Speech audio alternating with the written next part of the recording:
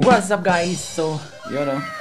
Yan, so for this video guys, ano lang, uh, i-tutor ko lang kayo guys. Hotel accommodation, handog ng OWA. Isa-isahin natin yung area, yung, yung mga sulok ng ano, ng hotel. So ito po yung accommodation sa land base. Let's go guys, tingnan na natin, uh, check natin yung accommodation ng hotel ng OWA. Ulit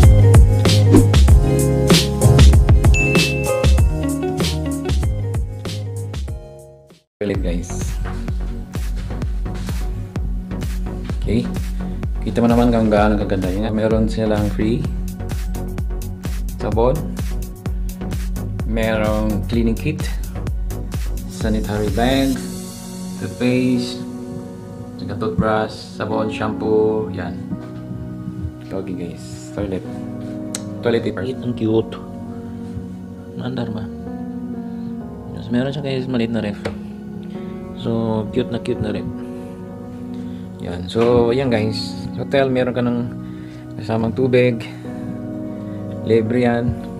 Meron ding paper cup. Para sa kape.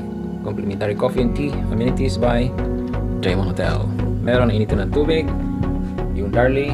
Akin yan guys. Dala ko yan. Hindi kasama yan sa hotel. Yan. Sa mission lounge. Ito yung higaan. Medyo malaki talaga siya. Pwede ka mag-basketball. So, pandalawahan yan guys. Take note, mag-isa ka lang dito. Okay? Take note, mag-isa ka lang dito.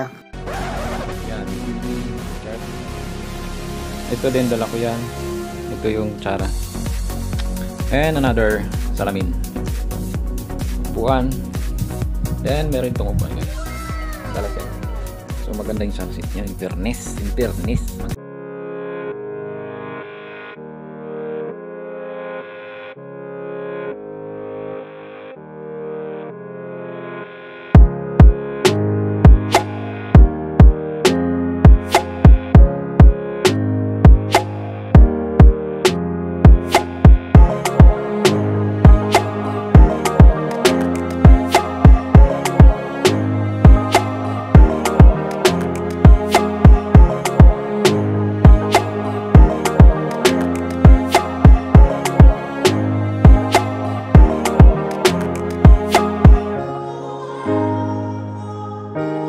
Okay,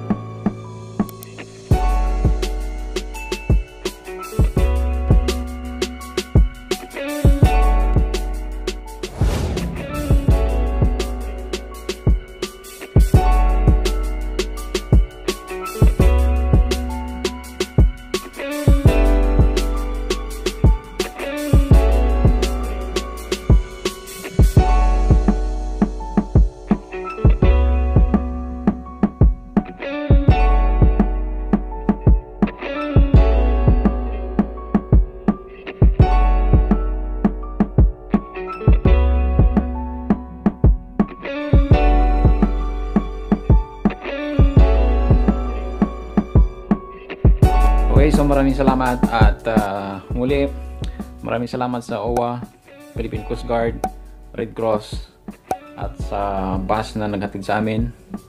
Yan sa mga ano, sa driver, yan. At saka yun. Yun na yun. Okay guys, so maraming salamat and uh, doon sa mga bagong um, sa aking channel, maraming salamat at sana patuloy kayong sumuporta sa mga dating sumusup ah, sa mga ano na po, sa mga subscribers ko na maraming salamat. Uh, ingat lagi, stay safe, God bless us all, and see you guys in my next video.